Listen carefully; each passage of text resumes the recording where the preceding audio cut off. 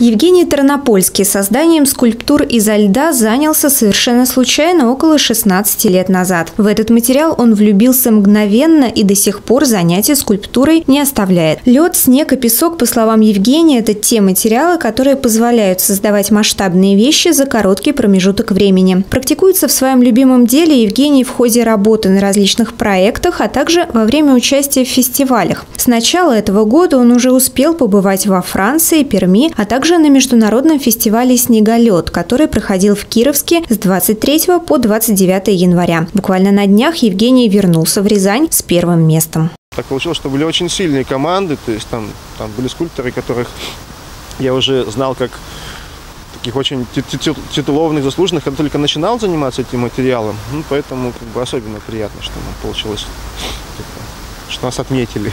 Вот. Очень сильные были команды. Более 40 художников на протяжении недели создавали из снега и льда невероятные образы в соответствии с темой, которую заявили организаторы – России глазами иностранцев. Евгений работал в паре со скульптором из Санкт-Петербурга Русланом Арсланбаевым. Изначально у них не было четкого представления, чему именно будет посвящена скульптура. Идея пришла сама собой уже на фестивале. Там так получилось, что мы знали тему, которая будет у фестиваля задана, там «Россия глазами иностранцев» потому что там как бы оформление самого этого места было тоже к этой теме приурочено, то есть и когда приехали, ну, у нас было несколько вариантов эскизов, начали перебирать с коллегами. Получилось так, что почти что все, как, как и предполагалось, там, мишек с балалайками, там, мужичков с баньками, там, ну, в общем, и вот мы так путем отбора остановились вот на нашей как бы, скульптуре хоровод. Шесть женских фигур в сарафанах и кокошниках выполнены из нескольких кубометров искусственного снега и олицетворяют красоту русской женщины. Работа над скульптурой заняла примерно неделю. Трудились художники каждый день, не обращая внимания на погоду, которая частенько преподносила не самые приятные сюрпризы. Но, несмотря ни на что, результат поразил и жюри фестиваля, и самое главное – посетителей снежной деревни. А это для скульпторов главная награда. Ленинграда.